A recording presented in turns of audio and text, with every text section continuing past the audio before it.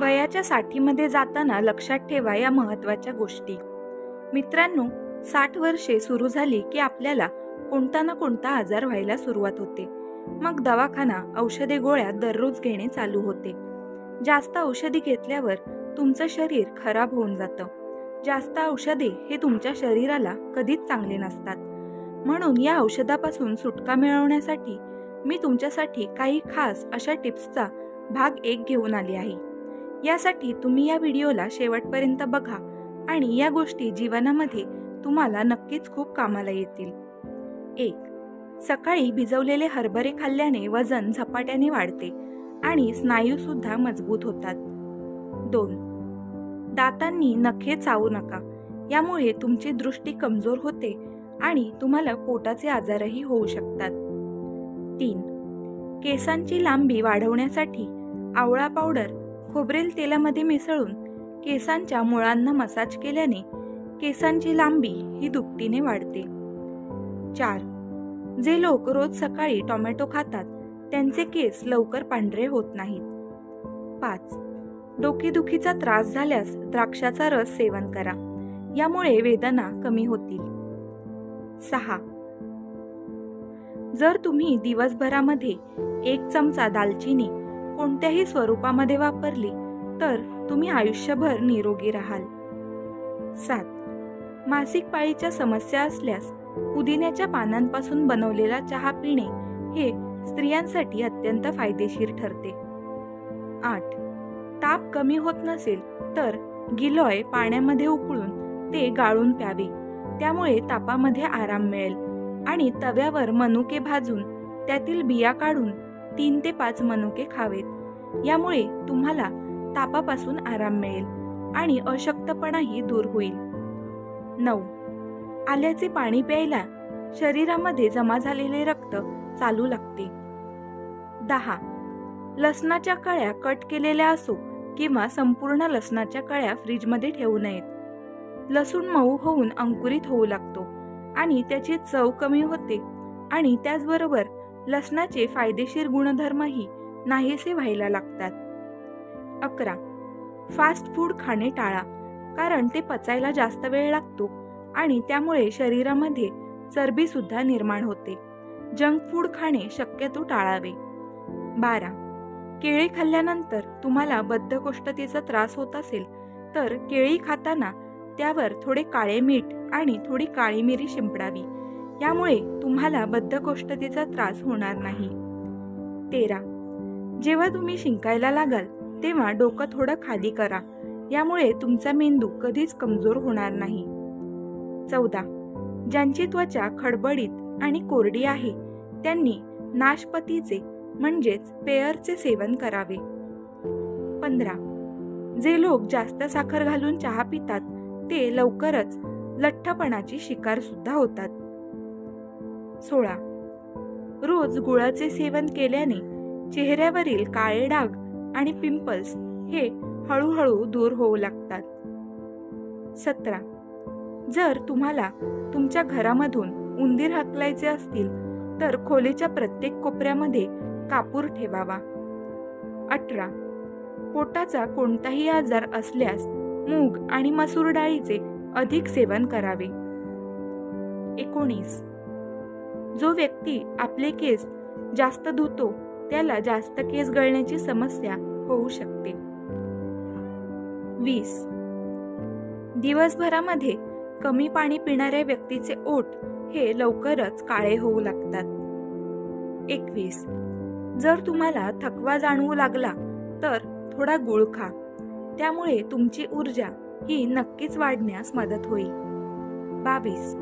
जर कोणाला पोटामध्ये गॅसची समस्या असेल किंवा वजन जास्त असेल तर रात्री जेवण आणि दुपारच्या जेवणानंतर लसणाची एक कळी खावी. यामुळे पोटाच्या समस्या दूर होतील आणि वजन वाढण्यासही प्रतिबंध होईल. तेवीस. एका श्वासात पाणी कधीही पिऊ नये कारण त्यामुळे छातीत दुखू शकते. चोवीस.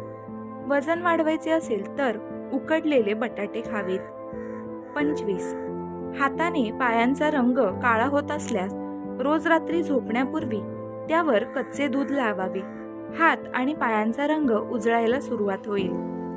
सव्वीस. जास्त कफ तयार होत असल्यास किंवा खोकल्याची समस्या असल्यास केळीचे सेवन करू नये. त्यामुळे शरीराला हानी होते. सत्तावीस. सतत वाकलेल्या स्थितीमध्ये दीर्घकाळ काम केल्याने पाठीचा कणा आणि मानेशी संबंधित समस्या उद्भवू शकतात. अठ्ठावीस. जास्त चहाचे सेवन केल्याने दातांच्या इनामलवर खूप वाईट परिणाम होतो. एकोणतीस. किचनमध्ये निष्काळजीपणे काम करताना अनेकदा हात जळतात तेव्हा ऑलिव्ह ऑइल लावल्याने आराम मिळतो. तीस. रात्री अंधारात झोपल्याने डिप्रेशनचा धोका हा आपल्या आयुष्यातून कमी होतो. एकतीस. जे लोक खूप पैदल म्हणजे पायी चालतात त्यांना हृदयविकाराचा त्रास होत नाही आणि त्यांचे शरीर सुद्धा निरोगी राहते. बत्तीस. दातांनी नक्कीच चावू नका.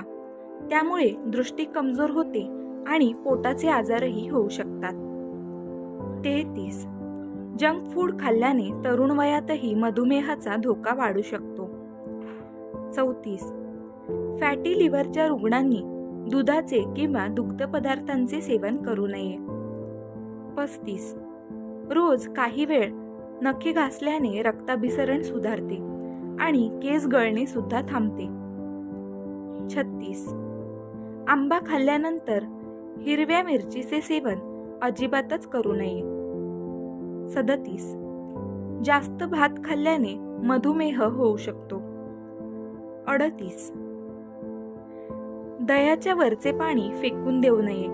त्याच्या सेवनाने यकृत शुद्ध होण्यास खूप मदत होते. एकोणचाळीस. कोणतीही आंबट वस्तू खाल्ल्यानंतर पाणी प्यायल्याने पोटामध्ये सूज येऊ शकते. चाळीस. सकाळी उठल्याबरोबर मोबाईल वापरल्याने डोकेदुखी होण्याची भरपूर प्रमाणात शक्यता असते. एक्केचाळीस. अंड्यामध्ये लिंबाचा रस मिसळून केसांना लावल्याने केस रेशमी आणि सुंदर होतात. बेचाळीस. पेरूचे सेवन केल्याने पोट साफ राहते आणि सुस्ती आणि डिप्रेशन सुद्धा कमी होते. त्रेचाळीस. रोज सकाळी उठल्याबरोबर केसांना कंगी केल्याने केस तुटणे कमी होते आणि केस मजबूत सुद्धा होतात.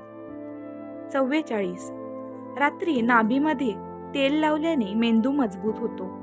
आणि त्यामुळे आपले आरोग्य सुद्धा चांगले राहते. पंचेचाळीस.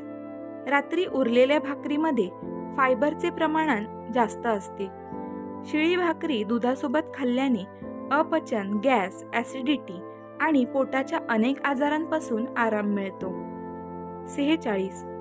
वारंवार लघवी होत असल्यास भाजलेल्या हरभऱ्यांचे सेवन करावे. सत्तेचाळीस.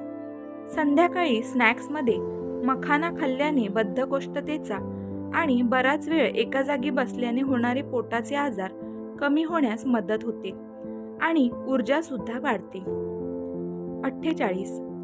मखाण्याचे सेवन केल्याने हाडे मजबूत होतात. ते आणखी चविष्ट होण्यासाठी थोडे देशी तुपात तळून त्यावर थोडेसे काळे मीठ शिंपडावे. एकोणपन्नास. दररोज दही किंवा ताक सेवन करा. कारण ते लघवीच्या इन्फेक्शनला प्रतिबंध करते. पन्नास. उकडलेले तांदूळ फ्रीजमध्ये ठेवल्याने ते अनेक दिवस वापरू नयेत. त्यामुळे पोट बिघडते. तसेच इतर अनेक आजार सुद्धा त्यामुळे होऊ शकतात. एक्कावन्न. जे लोक घाईघाईत जेवण करतात त्यांना हृदयाचा त्रास होऊ शकतो. अन्न लवकर पचत नाही आणि त्यामुळे लठ्ठपणाही होऊ शकतो.